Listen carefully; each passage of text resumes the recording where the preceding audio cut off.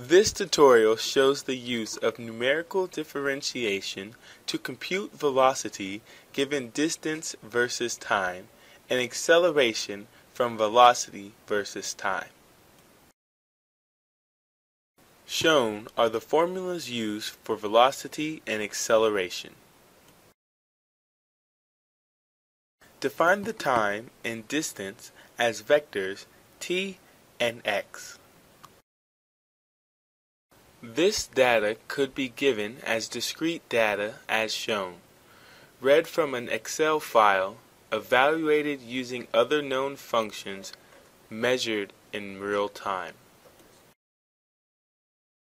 Use numerical differentiation and the diff command to evaluate velocity v as a vector.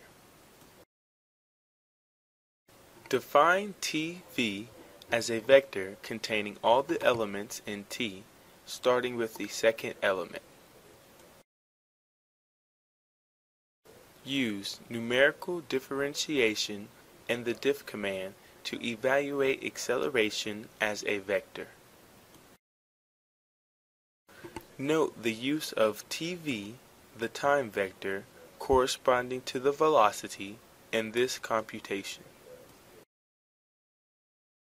Define TA as a vector containing all the elements in TV starting with the second element. Plot all three graphs on the same figure using subplot, distance, velocity, and acceleration versus time. Appropriately label all graphs including relevant units.